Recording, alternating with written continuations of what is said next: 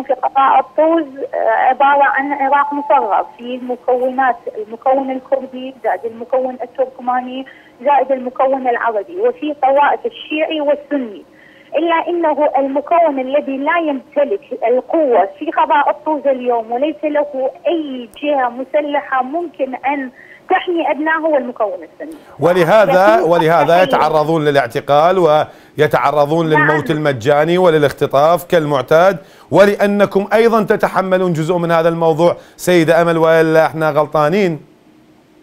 والله آه، الجميع يتحمل مسؤولية بما فيهم المتحدثه. نعم. أنا لا لا أنكر إنه أنا أتحمل المسؤولية إلا إنه أنا آه، فعلت كل ما أستطيع وسأفعل ما أستطيع اللي إنه هذا المكون ليس لكونه أنا جزء من هذا المكون لا ولكن لكونهم آه، وقع عليهم حيث لا يمكن أن يقع على أحد ويتحمل لهذا الوقت نعم. مهجرين آه، منازلهم مهدمة أعطوا شهداء أكثر مما كانوا ضحية داعش من جهة وضحية ما يحدث من جرائم داعش وتكبل في رؤوسهم.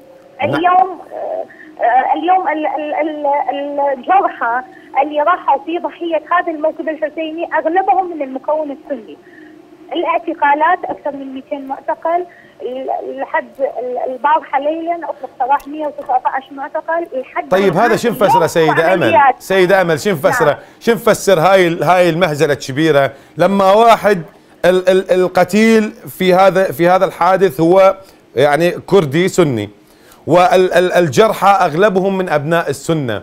ويعودون ليعتقلوا أبناء السنة. يعني شنو هو؟ هو فقط هذا الضحية؟ هو فقط هذا اللي ينجلد؟ هو فقط هذا اللي ينضرب على ظهره؟ لأنه ماكو قوة وراه ماكو ناس تحكي بهمه ماكو وراه ميليشيات عسكرية تقدر تدافع عنه. إلى متى يظل الوضع على هذا؟ أنا سؤال أوجهه لكل من قام باعتقال الأبرياء هل ممكن أن يكون نازح لا يجد قوت قوت اليومي للأكل أن يفخخ سيارة.